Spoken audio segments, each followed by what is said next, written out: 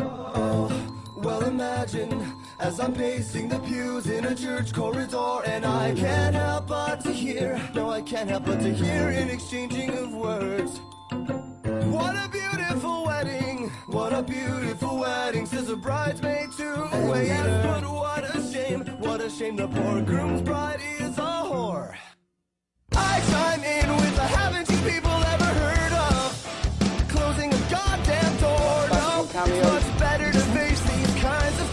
with a sense of rationality. I chime in, haven't you people ever heard of closing a goddamn door? No, much better to face these kinds of things with a sense of. Well, in fact, well, I'll look at it this way. I mean, technically, our marriage is saved.